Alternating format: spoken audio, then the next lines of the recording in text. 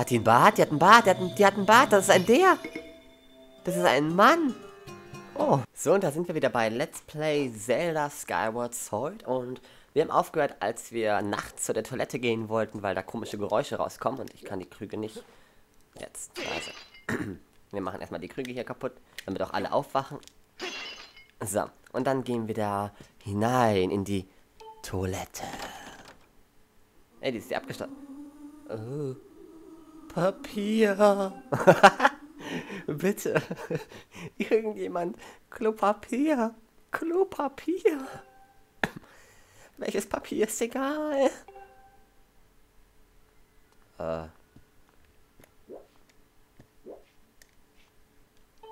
Nochmal. Ja, ich will dir meine Karte geben.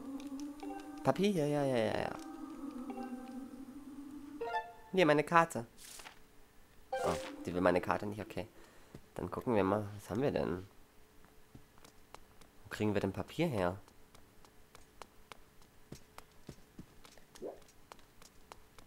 Papier. Bin ich jetzt irgendwie gerade etwas überfragt. Papier.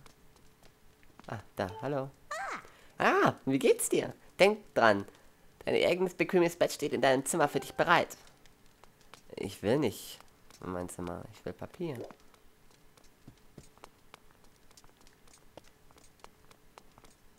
Hm.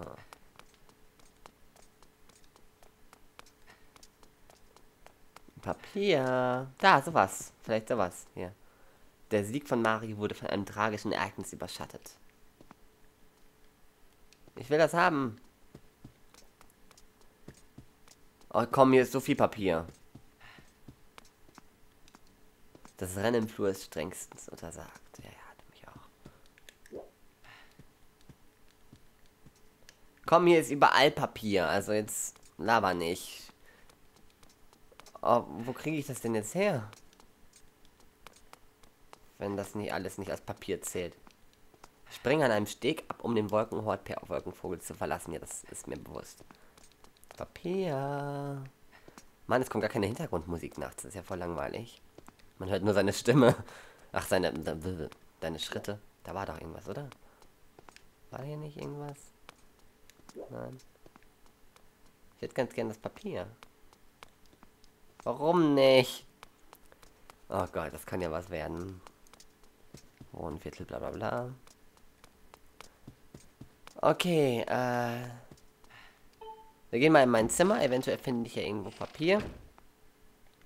Obwohl wir eigentlich ziemlich sicher sind, dass die Klopapier haben wollen. Oh!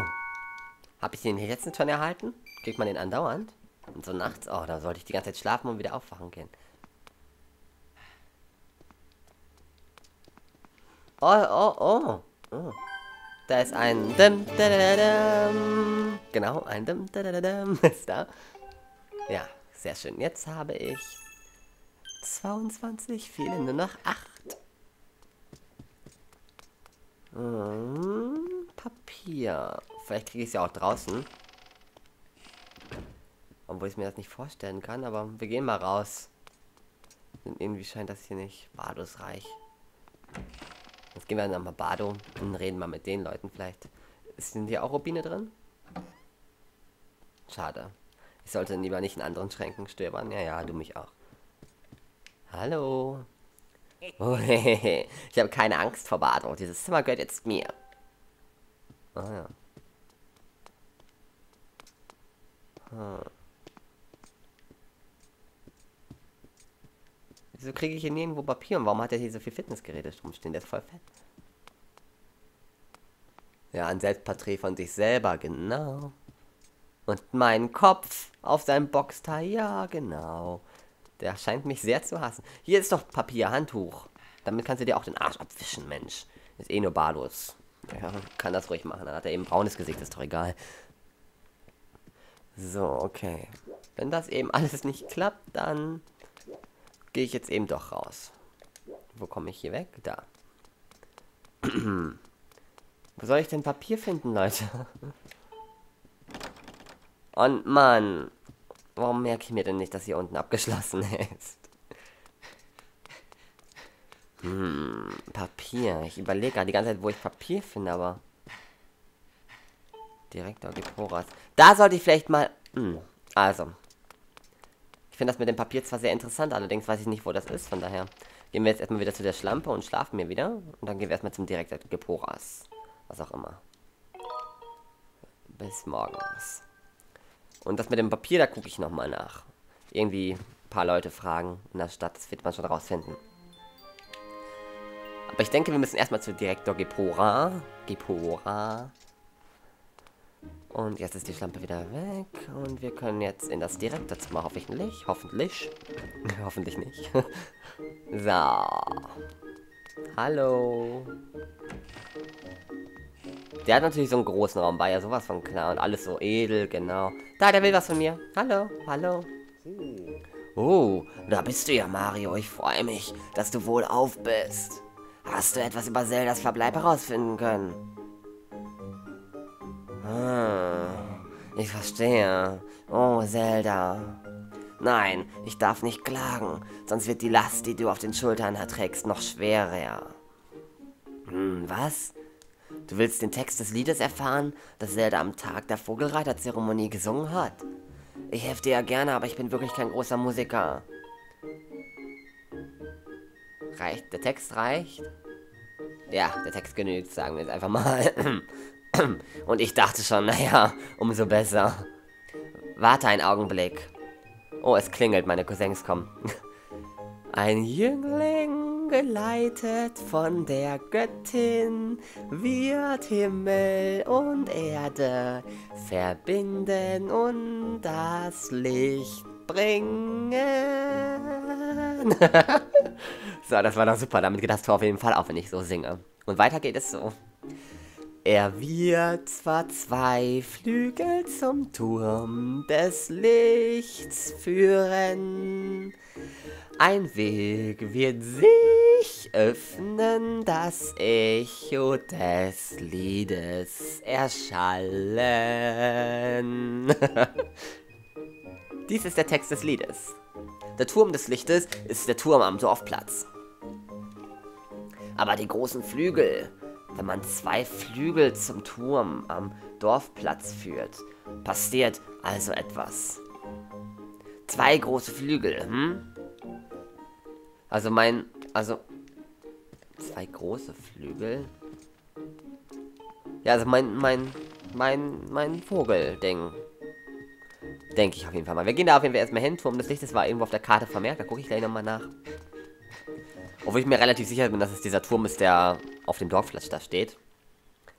Aber wir gucken lieber trotzdem nochmal auf die Karte.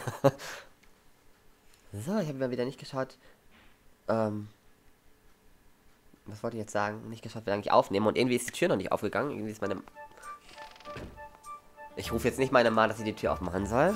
Sonst dürfen meine Cousins vor der Tür warten. Egal. Da irgendwie anscheinend noch nicht aufgemacht worden ist. So, Karte. Das ist der Turm des Lichtes, ne? Ja. Okay. Also, der hinter dem Bazar. Müsste das sein, ne? Hier irgendwo. Hä, wo ist der denn? Da. Da, da, da, da, da ist der. Das ist er doch, oder? Ja. Das müsste er sein. So. Da wollte jemand was von mir. Ich hab's gesehen, ihr habt es genau gesehen. Oh, das ist dieser Faulpelz, ne? Dieser Angsthase. Oh, du hast mich doch tatsächlich neulich nachts beobachtet. ähm, weißt du, ich wäre auch gern so stark wie du. Deshalb strenge ich mich an, aber irgendwie tut sich da gar nichts. Naja, ich gebe mir weiterhin Mühe. Ja, du bist einfach nur ein Schwächling. Und der, der schaut da so hoch. Oh, hallo Mario. Was? Zwei Flügel? Ich habe nichts so mit Rätseln. Frag doch mal den Wahrsager.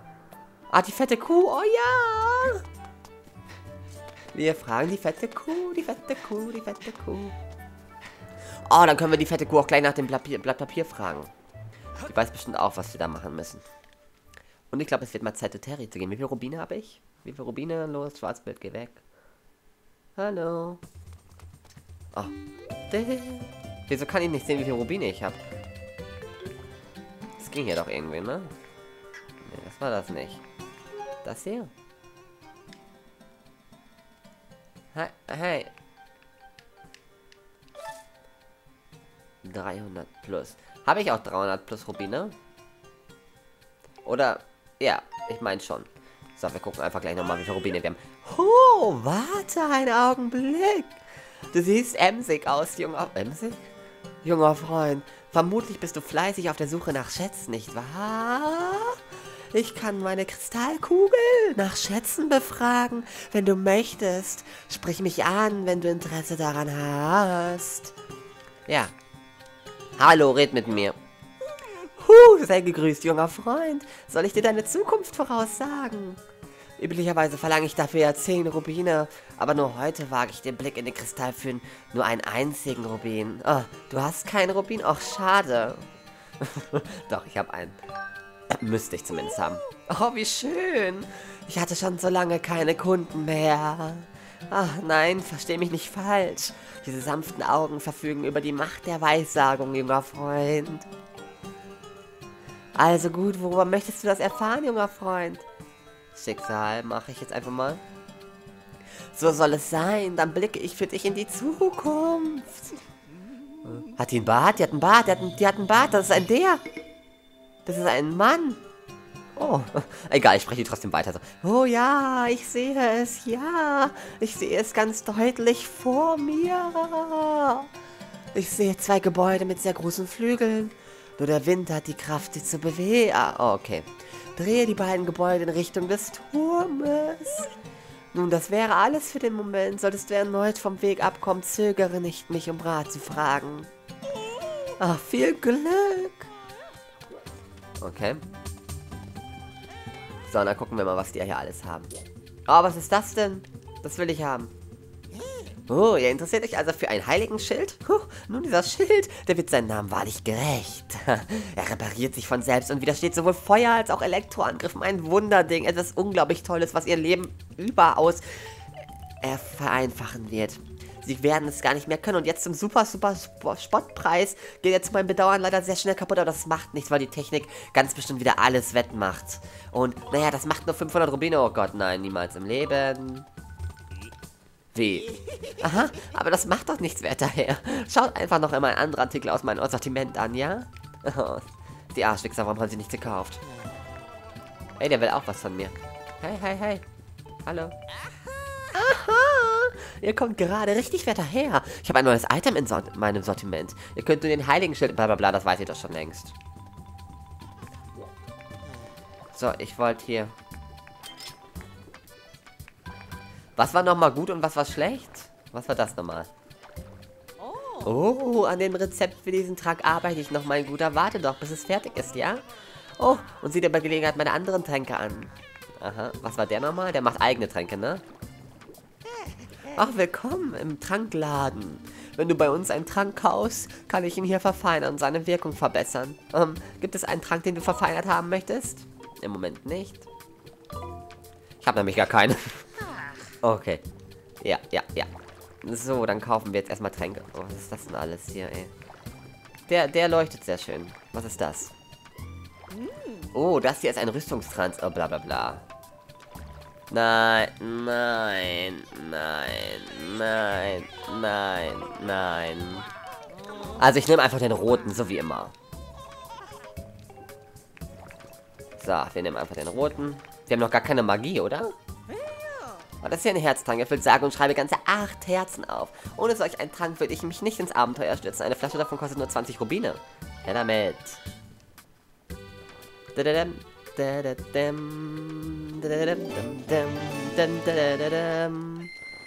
Ach, vielen Dank und vergiss nicht, wenn du diesen Trank verfeinern möchtest, wende dich an meinen Mann. Kann ich hier nicht auch einfach auffüllen? Doch. Warum nicht? Oh Mann. Jetzt darf ich also extra mit der reden, ja? Okay. Bla bla bla bla bla bla bla bla bla bla bla bla bla bla bla bla bla bla bla. Dankeschön, Dankeschön, Dankeschön. Dum, da, da, da, dum. so, das reicht jetzt erstmal. Ich habe keine Lust mehr. Ich will weiterkommen. Okay, also müssen wir jetzt diese beiden Windräder da einfach drehen. Das macht man, glaube ich, mit diesem... Ach, das habe ich doch schon mal gemacht, ne? Ich meine schon. Gut. Das erste ist irgendwo in der... Da irgendwo. Meine ich zumindest. Doch, irgendwo hier war das erste. Da. Ah, das dreht sich schon in die richtige Richtung. So wie ich das sehe. Oh, da hinten ist das nächste. Was wollen die denn da? Oh nein. Nein, nein. Ja, du bist nicht so stark wie ich und ja, du bist blöd. So, danke schön, dass du aufgehört hast zu reden. So, jetzt müssen wir also dahin und dann das Luftteil machen. Mal gucken. Aber das heißt, ich muss ja eigentlich wieder in die Wüste von Ranell und in den Wald und sonst was. Gibt es da noch extra Abteile oder so? Oder, oder muss ich einfach nochmal die Tempel besuchen? Das wäre das dämlich. Aber naja, vielleicht muss ich auch mehr machen. Hallo? Oh, äh, oh, du hast doch tatsächlich meine kleine Cookie gefunden. gefunden. Du bist ein toller Kerl, Mario. Vielen Dank. Übrigens findest du nicht, dass das Wetter heute hervorragend ist? An so einem Tag würde ich am liebsten in der Kürbisbar sitzen und mir ein Glas kalte Limonade gönnen. Aber ich musste diesen Schrank für meine Frau reparieren. Ah, wie mich das nervt. Ach ja. Was ist denn los, Mario? Interessierst du dich für dieses tolle Windrad hier? Es lässt sich so ausrichten, dass es den Wind immer optimal nutzt. Hm, naja, zumindest war das mal so. Hier fehlt ein kleiner Propeller und deshalb, oh Mann, oh, lässt sich das Ding nicht mehr ausrichten. Eine Schande.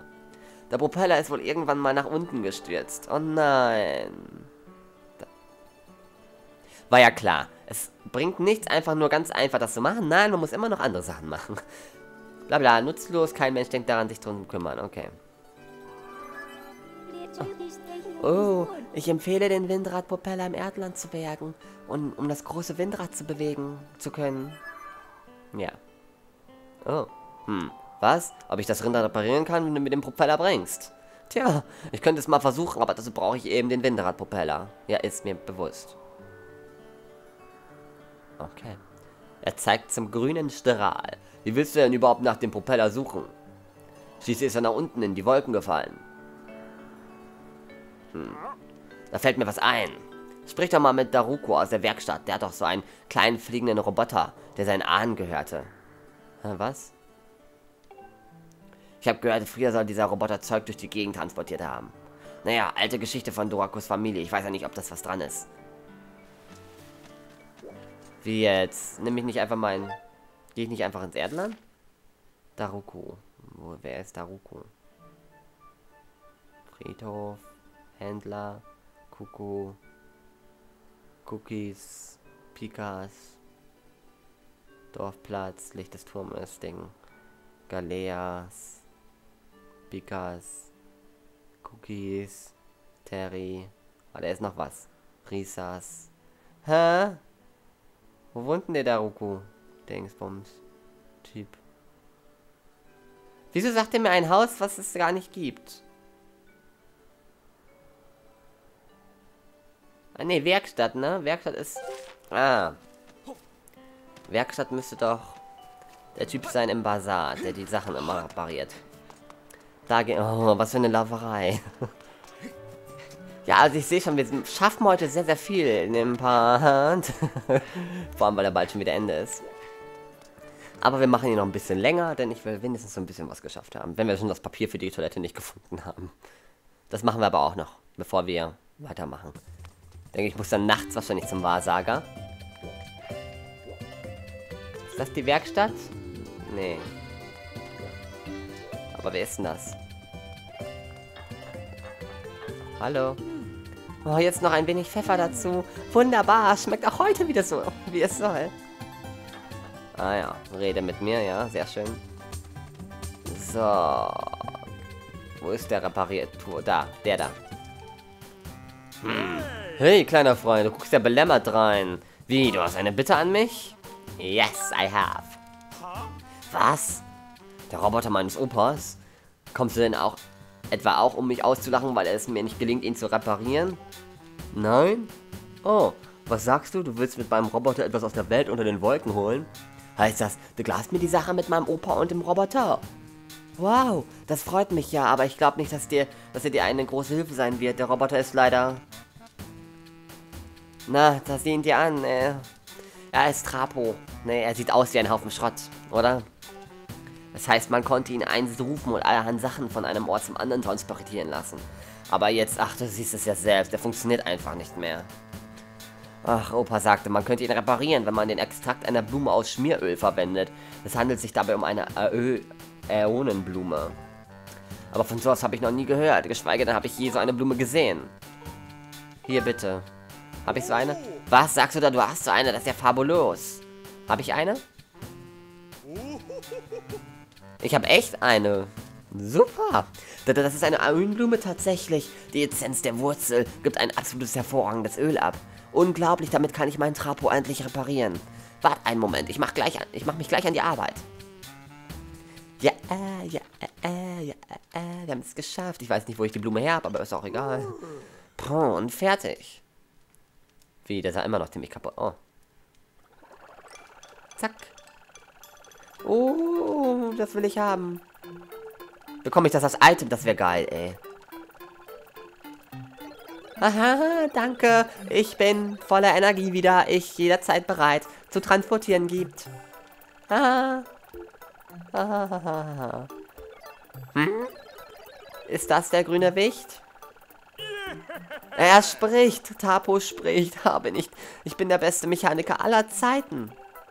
Guck mal, Trapo. Der grüne Kerl hier hat mir geholfen, dich zu reparieren, also sei ihm dankbar, verstanden? Ha, Wicht dieser, hm? Gut, also, Dankeschön, du geholfen hast zu reparieren. Reicht das? Nein, das reicht nicht, du hilfst mir. Also wirklich, wie sprichst du denn mit deinem Lebensretter? Sei ein guter Roboter und hilf ihm, ja? Unser Freund, Freundchen hat nämlich Arbeit für dich. Pa, mir doch egal, ich rede und basta, wie ich will. Lasse mich doch nicht von so ein Wicht kommandieren herum. hm. Gebieter, es ist möglich, den herabgestützten Windradpropeller für das große Windrad mit der Aurasuche zu finden. Super, hast dich ja richtig mal angestrengt. Er ist jedoch zu schwer, um ihn mit der Tasche hertragen zu können. Wie? Was? Oh, oh. Fei? Feidi? Oh, Verehrte, kann ich euch dienen, Fei? Oh, er mag sie anscheinend. Verehrte Fei, sehr wohl. Schwer es auch mag sein, ich trage Ende der Welt bis... oh, Gebieter. Mit Hilfe des Roboters ist es möglich, den Windradpropeller aus dem Erdland her zu transportieren. Begib dich nun auf die Suche nach dem Propeller. Also, helfe dir, Wichtgrün. Verehrte Fei fragen, wenn du brauchst mich. Ich kann Gedankenwellen aufspüren. Verehrte Fei rufen, wenn ich etwas transportieren soll. Wie findest du eigentlich die Sachen, die unter den Wolken gestürzt sind? Vielleicht hilft dir unser schrulliger Wahrsager da drüben. Er sieht aus wie ein Hohlkopf, aber seine Vorhersagen sind meistens gar nicht mal so übel. Das hatte ich doch schon. Folgt er mir? Oh, nee, folgt er mir nicht. Schon wieder mit dem Reden? Ach, sei gegrüßt, junger Freund, soll ich dir deine Zukunft voraussagen? Ein Blick in die Zukunft kostet dich nur, nur 10 Rubine. Nur 10 Rubine und ich sag dir, wohin dein Schicksal dich führen wird. Nun soll ich beginnen? Gerne. Also gut, worüber möchtest du etwas erfahren, junger Freund? Schicksal. Oh, so soll es sein, dann blicke ich für dich in die Zukunft. Obwohl, ich schätze, wäre besser gewesen, wa? Ach, scheiß drauf. Oh, ich sehe es, ja, ich sehe es ganz deutlich vor mir. Junger Freund, ich sehe, du bist auf der Suche nach etwas. Ein kleiner Propeller, der in die Tiefen unter den Wolken gestürzt ist. Ich sehe ihn auf einen Berg voller Flammen, nahe eines Abhänges. Beim Tempel am Vulkan liegt er und nun liegt eben dort. Halt, ob ich damit wohl richtig liege? Nun, das wäre alles für den Moment. Solltest du erneut vom Weg abkommen, zögere nicht, um Rat zu fragen. Viel Glück! Okay. Also müssen wir ins, ähm, wie hieß das Gebiet da? Eldin war der Wald. Gebirge von Eldin? Auch Eldin? Nein. Ich weiß es nicht. Aber egal. Und dann fahren wir da auf jeden Fall, fliegen wir da jetzt auf jeden Fall hin. Und ich würde sagen, dann ist der Part auch irgendwann schon endet, würde ich sagen. Außer es kommt eine Cutscene oder sowas. Ich will da drauf. Ach, fuck drauf, ey. Scheiße. So. Wo ist denn das rote Lichtschlein? Ich will wissen, wie das hieß jetzt. Wald von Eldin, Wüste Ranell und... Oh Mann, ich komme nicht drauf. Wo... Hä, wo ist das rote Licht? Oh, da. Wald von Eldin, Wüste von Ranell. Och, was war denn das andere jetzt nochmal? Uh. Ey, ich kann herabspringen. Warum? Was ist passiert?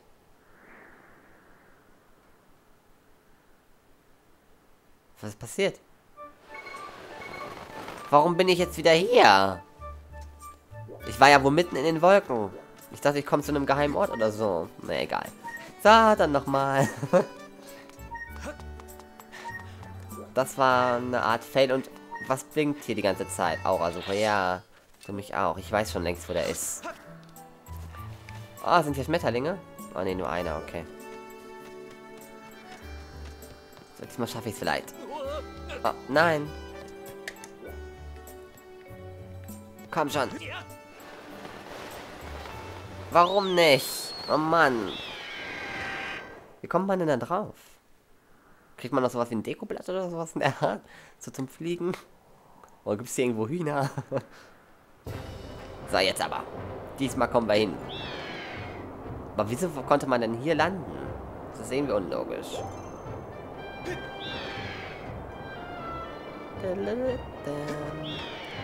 Ja, jetzt auf einmal steht er nicht mehr abspringen, war klar.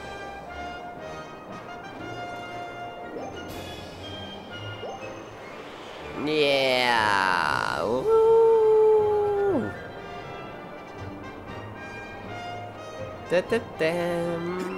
Schneller, schneller, schneller. Oh, da hinten ist irgendwie so ein penisartiger Turm. Da müssen wir auf jeden Fall auch nochmal hin. Und abspringen. Und... Uh. So, wie hieß es jetzt? Vulkan von... Gebirge von... Oh, ich habe keine Ahnung. Oh, bewege zu der... Bewege dich... Bewege, was auch immer zur Fokusstatte, damit ich dich bringen soll. Und drücke A. wie auch immer. So, wir gehen... Ich ist ja wohl Vulkan Eldin, eh. Wusste ich es doch gleich. Ähm...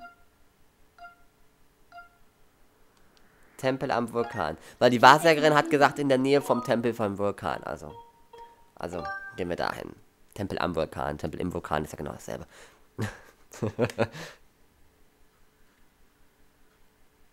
Na los jetzt. Na los jetzt. Uh. Okay, Leute, und äh, das wäre es auch hier jetzt erstmal für den Part. Wir gucken schon mal die Aurasuche an.